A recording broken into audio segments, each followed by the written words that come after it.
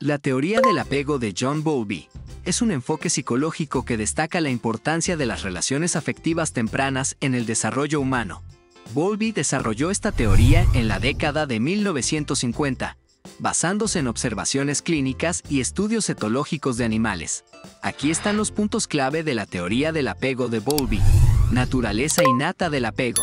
Bowlby postuló que el apego es una necesidad biológica y una parte esencial del desarrollo humano. Los bebés están genéticamente programados para formar vínculos emocionales con las figuras de apego, generalmente los padres o cuidadores.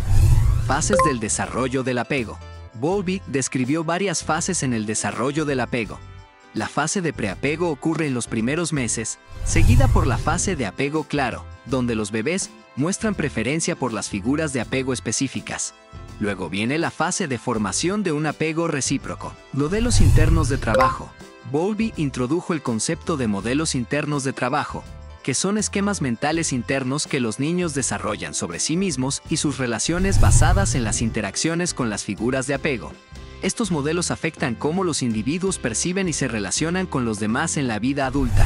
Apego seguro e inseguro. Bowlby y su colaboradora Mary Ainsworth identificaron patrones de apego en niños, clasificándolos como seguro, evitativo o ambivalente, resistente. Un apego seguro se asocia con exploración saludable y seguridad emocional, mientras que los patrones inseguros pueden llevar a problemas emocionales y sociales.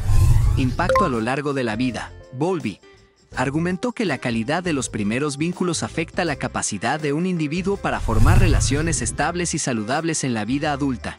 Los patrones de apego influyen en la forma en que las personas manejan la intimidad, el estrés y los desafíos emocionales.